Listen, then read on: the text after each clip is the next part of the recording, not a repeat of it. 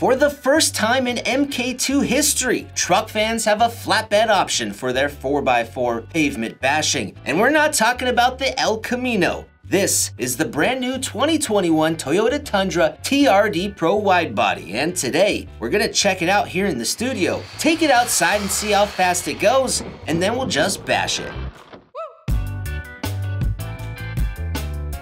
If you're a Toyota fan, then you probably already know the TRD Pro is an optional off-road trim you can add to the Tundra to offer a suspension lift, upgraded springs, an aluminum skid plate, a nicer interior cabin, and more. It's a truck spec'd for the greater off-road adventure, or if you just want a little more luxury, which is a great starting point if you want to create a custom street truck for those low and slow cruise days. And that's exactly what this sporty Tundra has to offer plus more.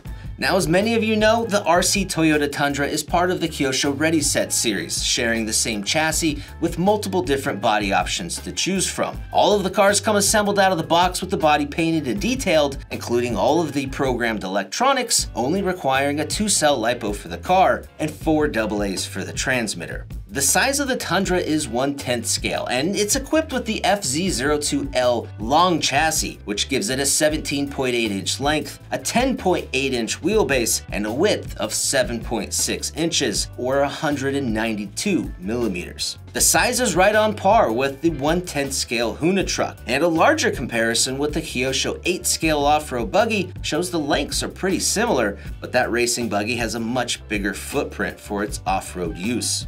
The scale looks from the Toyota Tundra TRD Pro are pretty dang impressive too, and the truck uses a Lexan body painted in Inferno red color, with decals and hard plastic accessories added to the Lexan body to enhance the realism of the truck. Now right up front is our hard plastic accessory and it's the Toyota grille added to the front of the Tundra and it's been secured on from the inside. The headlights on each side of that grille feature hard plastic buckets screwed on from the inside and they feature a single 5mm LED hole to add your own LEDs if you want to. There's a single LED spot on each headlight.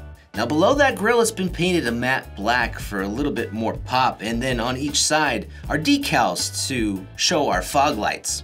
Now moving on up we have some black striped decals and these are intended to indicate that these are vents and this is an opening area to let the air in but they're just decals on the hood. Moving up the hood, there is a decal over the window, and all the windows for that matter, that give them a tint plus a trim around the edge. The windshield also features windshield wipers, they're decals as part of that windshield decal. Moving on up from that windshield, there is a sunroof on the very top with some nice lines built into the roof and then a little spoiler in the back. Now moving on to the sides, there are hard plastic mirrors on each side with reflective decals, and they've been attached from the inside with body clips. The side windows also have those tinting decals with more trim details added. There's also decals used for the side door handles and a few Toyota badges. Now if we move along the back, the rear window also features another tinted decal with more trim on it. There's also our flat bed back here and another hard plastic spoiler that's been screwed on just like the roof spoiler. Now below that rear spoiler all the way in the back, we have our tailgate. There's a tailgate handle for a decal. A few more decals are used as the badging. And then the tail lights also feature a decal on there. But if you peel back the decal on the tail light, they're left clear. And inside the body, there's two spots for five millimeter LEDs in each tail light. So you can illuminate those if you want to. Now the last thing that kind of stands out on this body is it has TRD Pro molded into the body, which is below the bed, kind of in the rear wheel well area. Now a really important detail about this body is that it's a wide body. So the fenders are flaring out really wide over the tires. The tires stay tucked underneath, giving it that sporty, aggressive feel. Now the tires and wheels are also a big part of the look and feel of this truck and they are black five spoke wheels with rubber treaded tires glued onto that wheel. The backside of the wheel features a 12 millimeter hex, so pretty much any other TC or drift style wheel should bolt right up onto this Fazer.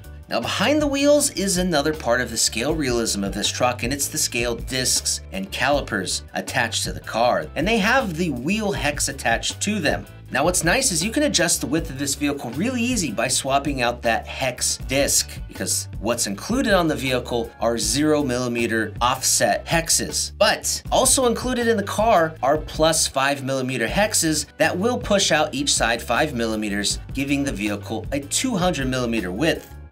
Now, if we pop the body off the Tundra, we can see underneath that this chassis is pretty dang standard if you're familiar with the Fazer MK2, and we've featured many of them on this channel before. They're a really good, simple, easy to work on, to maintain, to drive vehicle. And it starts with a plastic tub chassis. You have a gearbox in the front and the rear with gear differentials, an independent suspension on each corner, oil-filled shocks, and a center drive shaft supplying all the power. One of the coolest things about this chassis that I really enjoy is how symmetrical the parts are left to right and even front to rear. For some of them, they're the same parts, so having spare parts on hand to service any breakages you may have is a lot easier when parts are shared. Now all the drive shafts on each corner are plastic and the center drive shaft is plastic too, but there is an optional aluminum center drive shaft, which is a great upgrade if you want to put a 3S brushless system in this. And there's a lot of other upgrades and option parts you can add to these vehicles, like the different aluminum shocks, the metal drive shafts, carbon fiber shock towers, the list goes on and on.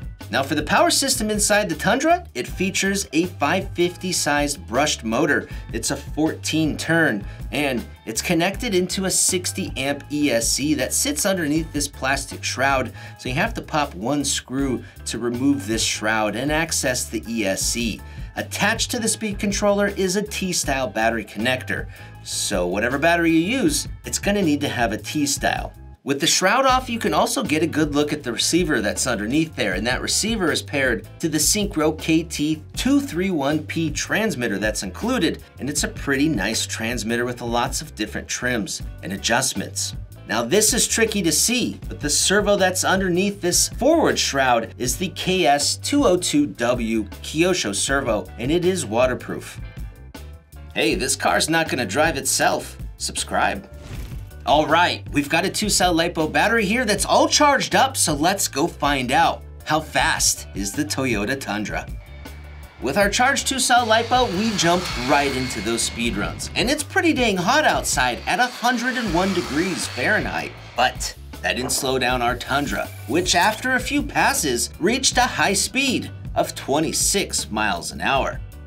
Now after the speed passes, we immediately thrashed into the loading dock, which is just a few hundred feet away from our speedrun areas, and we just let it rip, showing no mercy on the throttle, just for our own thrills, and to see how hot the motor could get on a day this hot.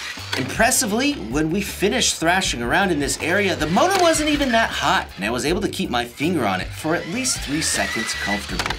Now from our experience out there, the truck has a lot of low-end pep. Pretty dang punchy. Has no problem with the point and shoot. The gearing seems pretty conservative, where it is geared a little bit lower to ensure those electronics don't overheat in a, a variety of situations. So there is definitely some room where we could gear up a little bit for more RPM top end on cooler days. It's punchy, huh? Very punchy.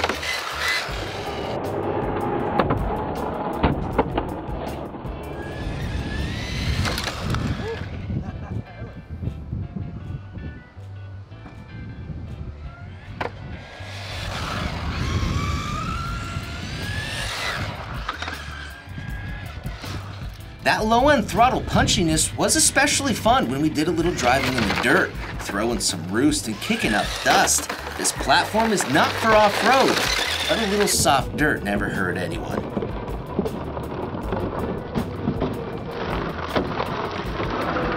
Now in the end, here's how dirty the inside of the chassis got after driving in that dirt and dust. It's really not that bad, and I cleaned it all out with a brush and a can of compressed air.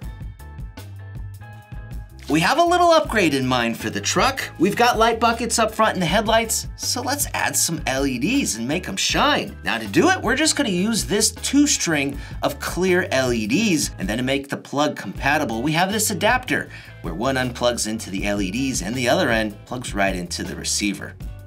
Now installing these lights is pretty easy. You just unscrew the LED retainer on the buckets, put in the LED and reinstall that retainer, do a little wire management, and then plug in the adapter to channel 3 on the receiver, and voila! Now the last thing for us to change are these tires and wheels because we can make them look so much better and we're going to install the fancy drift tires and wheels from DS Racing. These are the same wheels and tires from our drift car series and they look fantastic. The only thing to note is that the red caliper needs to be removed from the hub in order for the wheels to fit. Now it's worth noting the Toyota Tundra, it's not a proper drift car, but there's no reason you can't put some drift tires and get sideways or do some power sliding. On our drift track here at our local hobby shop, it's a bit narrow and it's very challenging to get around. We found a lot better success just by drifting and power sliding in the open carpet area. Regardless, it was still a lot of fun and the Toyota Tundra is a really cool truck. Guys, go check out the Fazer MK2 Toyota Tundra by following our links down below, and if you want more RC, check out these videos.